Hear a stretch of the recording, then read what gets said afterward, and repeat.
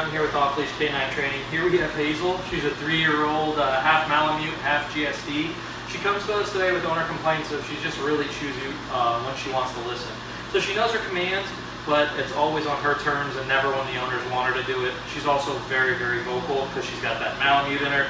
So let's go ahead and see what Hazel can do as of right now. Hey, can you sit? can you sit? Good girl. What about down? Can you down? No. Down.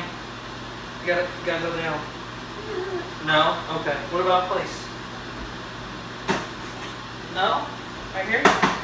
Up there? Where are you going? So as you can see, she, she kind of knows some of her commands. Obviously, it's very much so on her terms. But check back with us in 14 days. You'll see a brand new Hazel.